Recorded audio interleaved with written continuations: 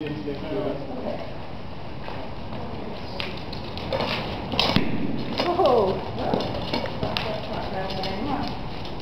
Yeah, he's perfectly, yeah, both of they use him for mounted archery enough? He's really cool with all the rattling, don't you think?